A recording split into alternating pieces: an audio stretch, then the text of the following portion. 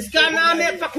दोस्तों आज इस सपेरे वाले ने गांव वालों के साथ सच में जो इतना बड़ा गलत काम कर दिया कसम से उसे देखकर तो आप लोगों को इसको मारने का मन करेगा दरअसल दोस्तों ये घटना झारखंड में इस गांव की है जहाँ ये सपेरे वाला चंद पैसे कमाने के लिए सबसे पहले जंगलों से इन जहरीले सांपों को पकड़कर औजार की मदद से इन सांपों की जहर की दोनों थैलियाँ और दांतों को पहले से ही बाहर निकाल देता है ताकि खेल दिखाते समय अगर गलती से भी कोई भी सांप इसको काट ले तो शरीर के अंदर जहर तो नहीं फैलता है लेकिन अंत में दोस्तों इन बेजुबान जानवरों की जो इतनी इतनी बुरी हालत होगी उसे देख कर तो आप लोग भी पूरी तरह ऐसी चौंक जाओगे दोस्तों जब ये सपेरा इस गाँव में खेल दिखा रहा था तभी वैसे ही चुपके ऐसी यहाँ मुबारक स्नेक सेवर वर्जी पहुँचते हैं तो पता चलता है की लोगो को जागरूक करने के बजाय गलत जानकारी दे रहा होता है ये बोलता है की ये दामिन साहब अगर गलती ऐसी भी पूछ मार दे तो उस इंसान का शरीर गलने लगेगा जबकि सर ने पूछ मार कर देखा तो ऐसा कुछ भी नहीं हुआ जहर निकलने से दोस्तों ये सभी सांप अपने भोजन को शरीर में पचा नहीं पाएंगे और मौके पर ये बेजुबर भूख के मारे दम तोड़ देंगे